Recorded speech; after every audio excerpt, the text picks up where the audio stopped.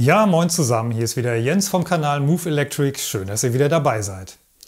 Was ist eigentlich gerade der heißeste Scheiß im Bereich der Akkutechnologie? Sind es Feststoffakkus? Teslas 4680er Zellen?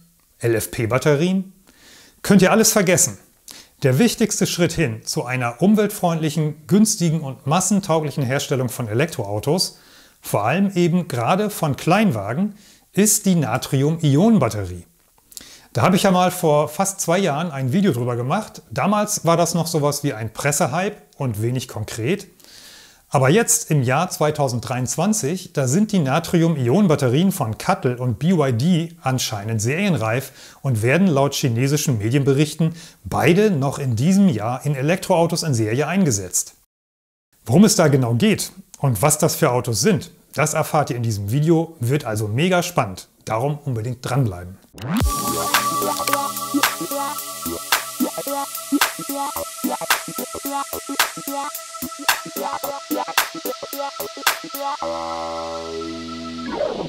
Ja, BYD und Cuttle, das sind die größten Akkuhersteller der Welt und die haben beide schon seit Jahren unabhängig voneinander an diesen neuen Zellen geforscht. Und nun ist es anscheinend soweit. Die Natrium-Ionen-Zellen von Cuttle werden in das erste Modell von Aika eingebaut, das voraussichtlich im vierten Quartal dieses Jahres auf den Markt kommen wird. Aika ist vom Hersteller Cherry und natürlich eine chinesische Marke, von der wir hier bisher nichts gehört haben. Aber auch in China ist die Marke brandneu. Der Aika GT ist ein super Sportwagen mit Flügeltüren und sieht ehrlich gesagt rattenscharf aus. Aber etwas zu früh gefreut, in diesem Auto werden noch normale Lithium-Ionen-Zellen verbaut. Die Natrium-Ionen-Batterie, die wird dem Bericht zufolge in den kleinen Modellen von Cherry zum Einsatz kommen und die tragen so lustige Namen wie QQ Ice Cream und Little Ant.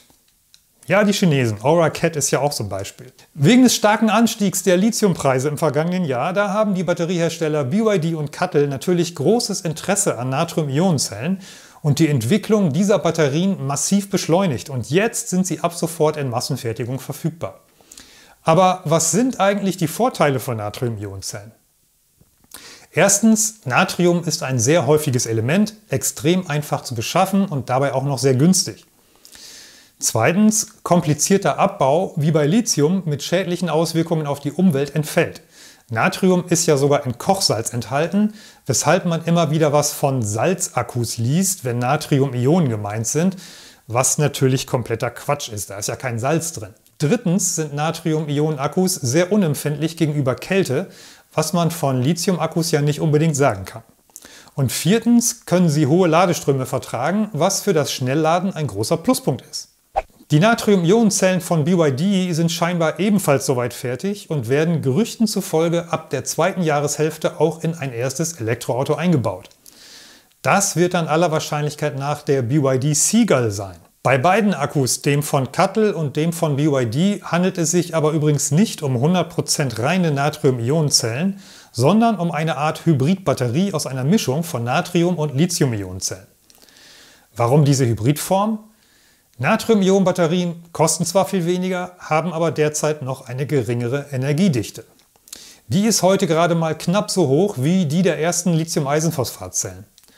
Cuttle hat seine erste Natrium-Ionen-Batterie schon 2021 vorgestellt und damals die Energiedichte mit 160 Wattstunden pro Kilo angegeben. Natrium-Ionen-Zellen haben aber wie gesagt enorme Vorteile in Bezug auf die Leistung bei niedrigen Temperaturen und das schnelle Aufladen und das macht das Ganze eben sehr interessant. Was jetzt zum Einsatz kommt, das ist ja schon die zweite Generation, also die Entwicklung ist seit vorletztem Jahr deutlich weitergegangen und die aktuellen Natrium-Ionen-Zellen sollen heute eine Energiedichte von bis zu 200 Wattstunden haben. Was den Einsatz in Elektroautos betrifft, so könnte man solche Natrium-Ionen-Batterien in Autos mit einer Reichweite von bis zu 400 Kilometern einsetzen. Das sind also mögliche Akkugrößen von sagen wir mal bis zu 54 Kilowattstunden. Warum nicht mehr? Das hängt wieder mit der Energiedichte zusammen. Mehr Kilowattstunden bedeutet auch größeres Akkuvolumen und der Platz ist dafür einfach in den Autos nicht da. Mit der Hybridtechnologie, da haben BYD und Cuttle eine Mischung aus Natrium- und Lithium-Ionen-Zellen entwickelt. Und die macht es möglich, dass sich beide Zellvarianten gegenseitig ergänzen. So wird die Gesamtenergiedichte gesteigert und gleichzeitig die Vorteile der Natriumzellen erhalten. Mit diesem Ansatz, da können Natrium-Ionen-Batterien in Elektroautos mit einer Reichweite von bis zu 500 Kilometer eingebaut werden, also mit Akkus bis rund 75 Kilowattstunden. Solche Modelle machen 65 Prozent des Marktanteils aus, also ein Riesenpotenzial. Was BYD angeht, so haben sie das mit dem Seagull bisher leider noch nicht offiziell bestätigt.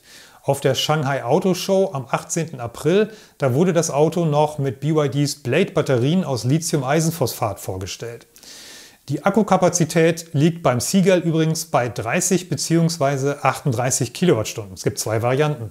Und das reicht nach BYD-Angaben für 300 bis 400 Kilometer Reichweite. Naja, da muss der Verbrauch aber schon extrem niedrig sein. Also gemeint ist vermutlich chinesischer Stadtverkehr.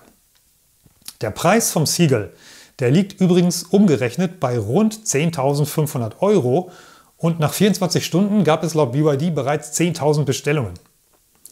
Mit dem Natrium-Ionen-Akku, da dürften also gerade kleine Elektroautos preislich massiv profitieren und man darf gespannt sein, wann die ersten Modelle den Weg nach Deutschland finden.